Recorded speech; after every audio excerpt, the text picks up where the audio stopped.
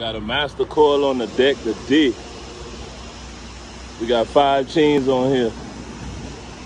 One going backwards, one in the middle, another in the middle, another in the middle.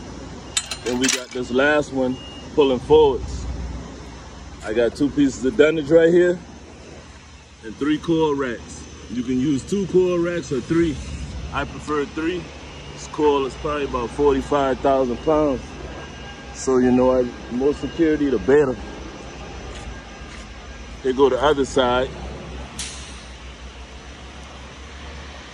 Got my chains, you know, like I say.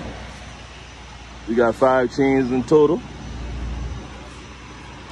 I talking about ain't no slack on these chains. About to top it. Here go the coils racks again. As you can see, I got three.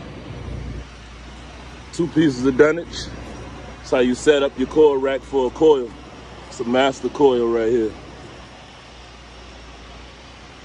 Suicide coil. All about securement. They don't do it like me. I'll show y'all the finished product when I talk. Yeah, that's how we look right there. No slack in these things. No slack.